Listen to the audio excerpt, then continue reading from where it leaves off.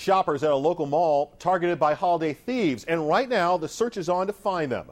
Channel 4 Action News reporter Bob Mayo with what he has uncovered. Take a look. This is one of the cars that was victimized in the mall parking lot. It looks like the window's down, but no, that's glass in the floor. Someone did this to not one car, but four cars in the space of several hours on Black Friday. It's a lesson for all of us in holiday shopping security and precautions.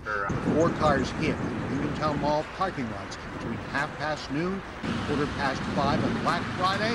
Windows boldly broken by the smash and grab thief. The haul taken from victims included toys, clothing, a GPS, and in the case of Rob Broadwater, his brand new 32 inch screen TV.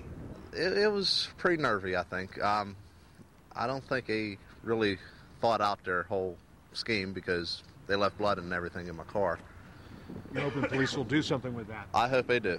These are all things that during this time of year it's best to be kept out of sight inside of your vehicle, uh, whether that's placed in a trunk out of view or even if it's uh, using a blanket or something to cover up. I hope they do catch him because it being this close to Christmas, I guess he wanted a Christmas gift himself. But most people, I guess, wake up five o'clock to do Black Friday shopping. This guy just wanted to wait till everybody was done and get his deals.